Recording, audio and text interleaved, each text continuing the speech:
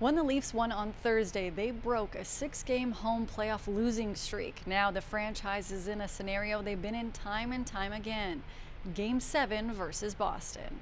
The belief is high, um, and I mean, we're not thinking about uh, uh, previous Game 7s. Here we go again. The Leafs taking on the Bruins in a Game 7 showdown. In 2018 and the 2019 playoffs, the Bruins took the Leafs out in the first round in Game 7 of both of those series. Confidence is high. We, we believe in our group. I believed in our group uh, all throughout this series and this season. And, and obviously, you know, our performance in the last two games has earned us even more confidence in another game. In the final minute of the second, scores!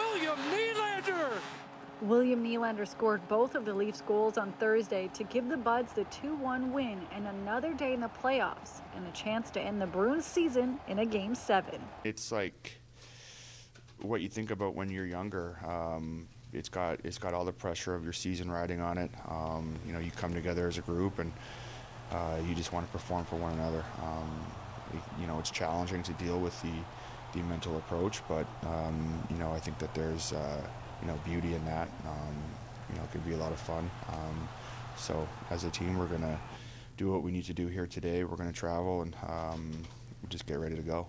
The Leafs in Boston on Saturday, hoping to write a new storyline, and fans in Toronto ready for that moment. Oh, I'm feeling, I'm feeling ecstatic. The boys are buzzing. Everybody in the square, we're going crazy. Got people on poles swinging towels around. It's a great feeling. Bring it on, baby. It's got to be this series, this year, that we finally conquer this rivalry. And, and, so excited to be here and, and be a part of it in person. It's powerful. I'm feeling electric. This is our first home win since this entire series. We've won twice away, and we're finally in the game. It is 3-3 in the series, and we are here for it. We are confident, and we are strong. Let's go Leafs! In the Leafs win on Thursday, goalie Joseph Woll became the first goaltender in Stanley Cup playoff history to have his first three postseason wins in potential elimination games.